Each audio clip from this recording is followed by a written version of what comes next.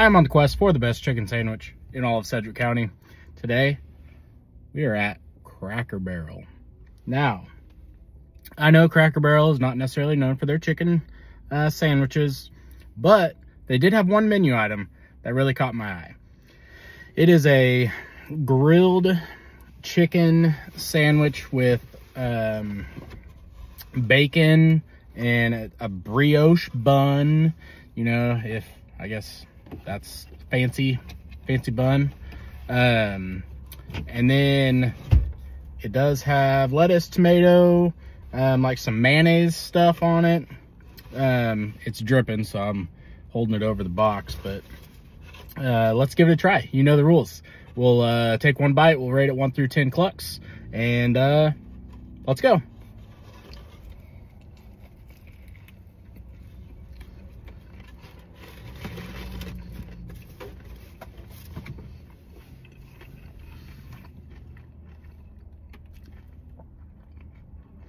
Hmm.